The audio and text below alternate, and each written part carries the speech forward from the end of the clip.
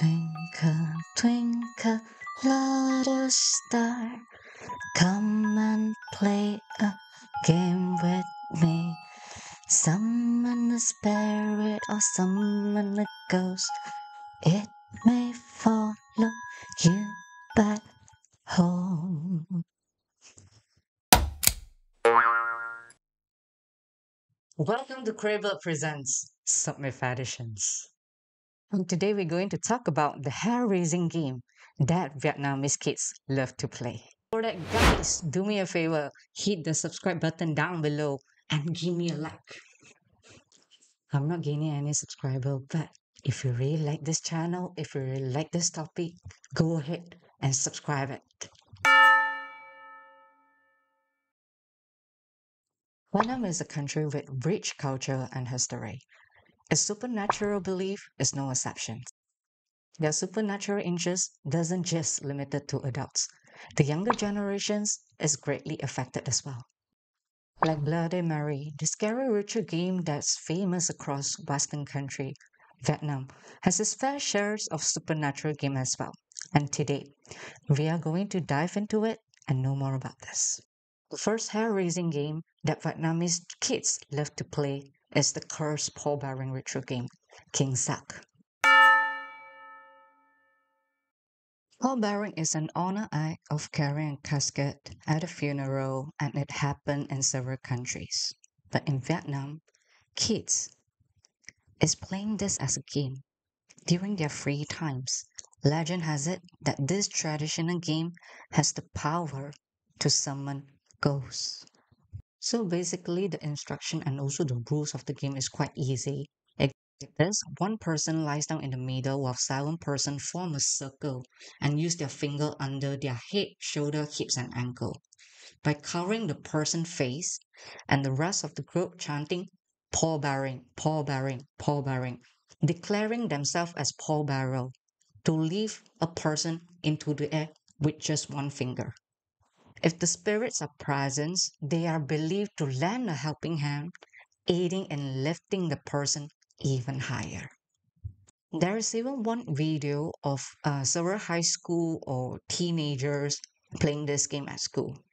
This game is said to have originated in Mekong Delta region of Vietnam. According to local belief, the ghosts are attracted by the rhythmic chanting and the motions of the blanket when they respond to the call, it joins the ritual by assisting in the lifting. Guys, if you're really considering playing this game, first, do not choose haunted place to play this game. Second, show respect. Whether you're atheist, whether you don't believe this kind of things, show respect at least. Third one, stop if you feel uncomfortable or unwell. But guys, personally, I do not recommend you to play this game because um, some folks actually believe that if the uh, spirit is not properly appeased, they'll follow you back home and refuse to leave. And they even cause misfortune accepting your life force away. And some of them, if let's say um, they have resentment towards you, they even will harm or kill you. Another game that Vietnamese kids are playing is Vietnamese Ouija board, Cao Cơ The word Cao Cơ, translated to English, actually is called calling the soul. It was um, believed that uh, it influenced by the musculoskeletals method from China and also the Ouija board from US. But the matter of fact is, not only Vietnam is popular with this game, but around the world peoples are playing. The Cao board actually is sourced from the wood pieces from an old coffin, cut into a circular design imprinted with 29 letters of Vietnamese alphabets, along with the diacriticals, marks, and the number from 0 to 9. It's something similar to um, the common Ouija board, except for the Vietnamese alphabet. In Vietnam, children would normally gather around the graveyard or darkly lit room to play Cao First, they lay out three burning incense as offering to show respects. Then place a coin with a hollow center in the middle of the board, which each player play, place a finger on it. The how to play is almost similar to Ouija board. Then they read aloud the below poem to start the game.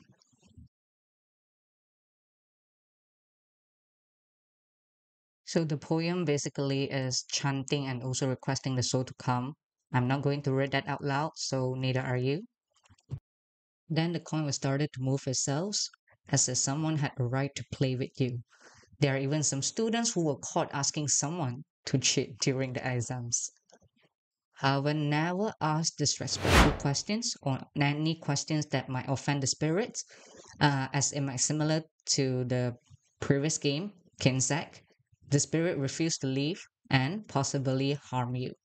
So the next game that Vietnamese kids are playing right now is called Ma Lon, translated as the ghost can't.